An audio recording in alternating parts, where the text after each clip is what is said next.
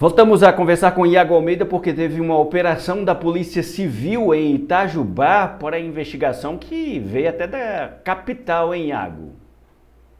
Isso, é a Operação Escola Segura que a Polícia Civil está aí desencadeando em todo o território de Minas Gerais e também ajudando a Polícia Militar nesse combate aí, fazendo a segurança das escolas aqui na nossa região. E durante esta operação, a Polícia Civil apreendeu dois menores de 16 e 17 anos lá na cidade de Itajubá, com vários materiais suspeitos. Foram cumpridos, na verdade, sete mandados de busca lá na cidade, que acabou então resultando na, na apreensão destes materiais e dos dois menores. A polícia conseguiu prender vários materiais ligados a crimes de ódio, apologia ao nazismo e violência extrema, como eles mesmos disseram em nota. Foram apreendidos computador, anotações, máscara, simulacro de arma e uma espingarda de fabricação caseira.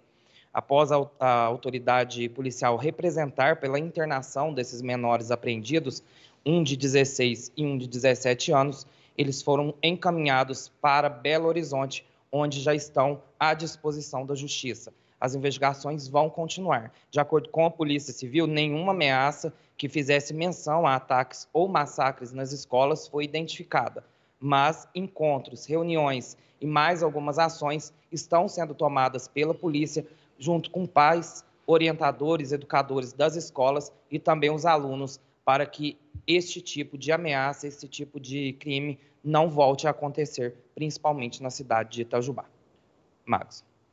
Exatamente, é um trabalho preventivo feito aí pela Polícia Civil, né, de impedir que esses comentários, essa ação dos menores de outras pessoas possam desencadear algo mais grave. Mas enfatizando, como já disse o Iago e como disse a polícia na nota, não se trata de ameaças a uma escola de Itajubá ou de outra qualquer no estado de Minas Gerais. É algo que a polícia estava investigando, chegou nesses menores que estavam com esse tipo de conteúdo aí nos computadores, né, de ameaça, de crimes de ódio, mas não em relação a escolas, mas já agiu preventivamente, já fez a apreensão desses menores